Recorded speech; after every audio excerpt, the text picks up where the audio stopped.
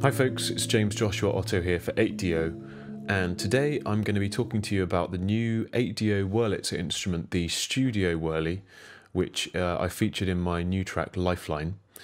Um, so let's have a look at the Kontakt interface first of all.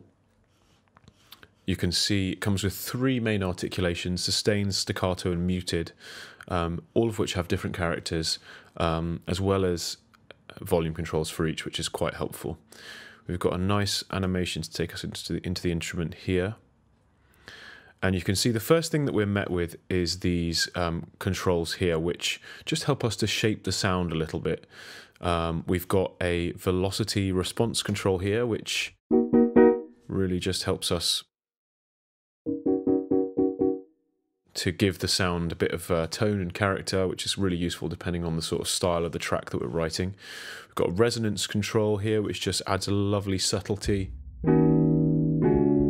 to the sort of warmth of the sound, the depth of the sound. Release tail um, control here, a pedal volume control, um, and then we've got a few controls just here which help us to um, shape the tremolo uh, modeling, which is really a really nice feature. I'll just show you what that sounds like.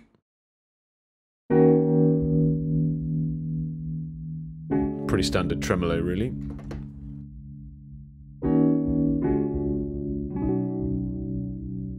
But you can see it's got a really nice warmth to it, actually, which is a really nice feature. The uh, stack feature here just adds um, a sort of extra attack to the notes that you're playing particularly useful on the sustains actually. Um, compared to without that on. Doesn't have quite the same bite, which is um, which is quite a nice touch. Um, so we've also got the staccato articulations.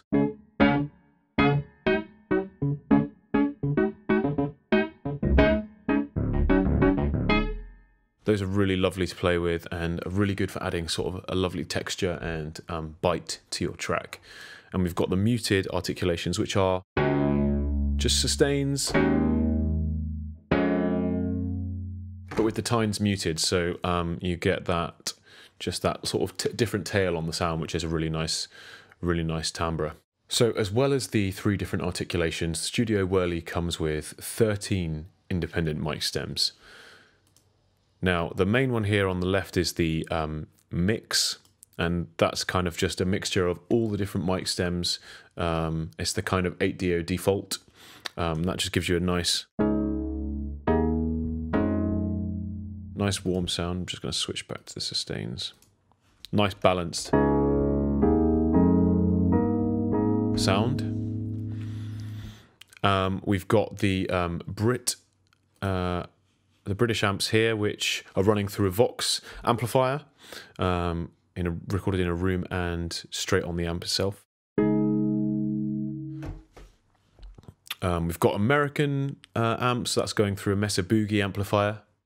We've also got three different DI inputs here. We've got a clean, warm, and a crushed DI.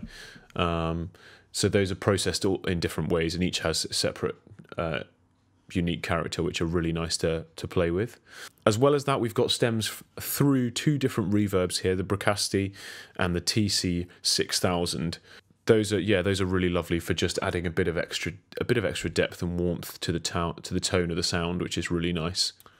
And finally, we've also got the these three extra um, recordings the mechanical recording, the speaker recording, and the tape recording, and they just give you even more um, sort of tonal options to use, which are which are really cool and really helpful. Now, what we're going to do is I'm going to show you uh, my track Lifeline, which I've used all three of the different um, articulations. Um, with each one, I've used different mics just to give us a bit of a different character. Um, so you can see here with the staccato um, articulation, I've used the British sound, so it just gives us a, a little bit more bite um, using those two, I've used the room as well just to give us a bit of extra warmth. I've also made use of the uh, onboard effects. As ever with 8Dio, they've given us these uh, rack effects. So we've got an EQ, um, a delay, and a reverb that I've used here. Um, and they just again just give us an extra texture to the sound. Um, you'll hear with the track with the staccatos there that they're that they're using the delay just to just to really make the most of that texture, which is a really cool effect. I've also used both um, both the reverb stems on this uh, on that channel just to really help it sit as a texture in the mix rather than as a feature. On the arpeggio sustains here, you can see I've used the American um, stems, amp stems, um, and they just add a bit more warmth. They just help it really sit in the mix. And uh, on the main sustains here, and on the muted uh, lines, I've just used the main the main mix uh, for a clear, warm, balanced sound. So let's have a listen to the track. Um, I'll play it all play it all to you for you to hear. Here we go.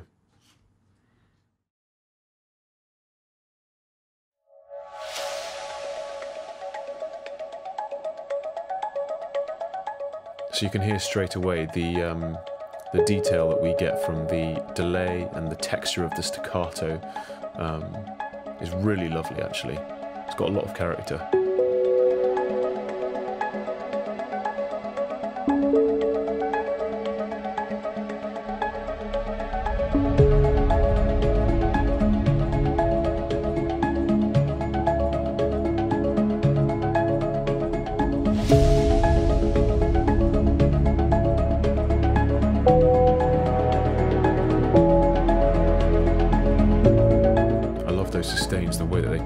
Sort of bell-like almost when, when in that arpeggio.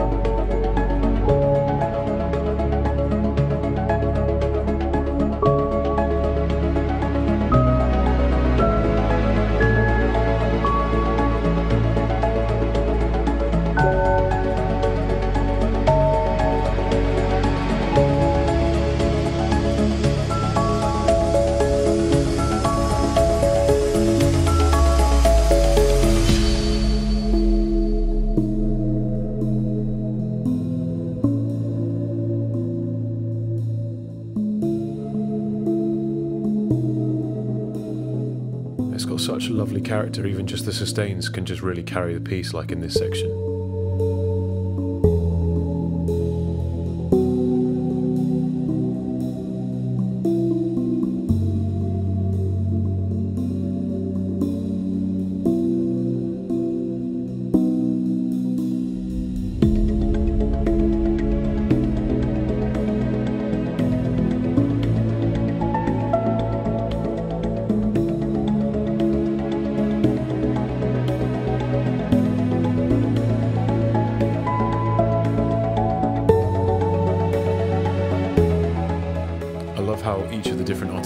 Really complement each other as well. You can use uh, all of them in combination and they don't sort of get in, get in each other's way or clash.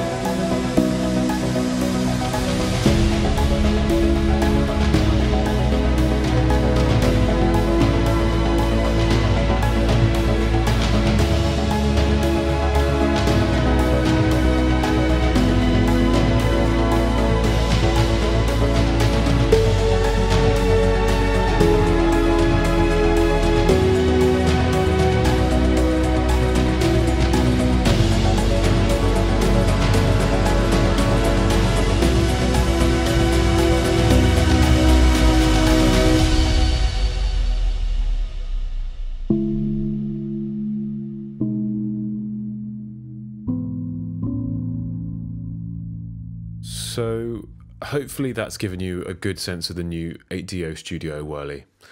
I've had a lot of fun playing with it and writing with it, and I'm sure you will too. That's it from me today. I'll see you next time.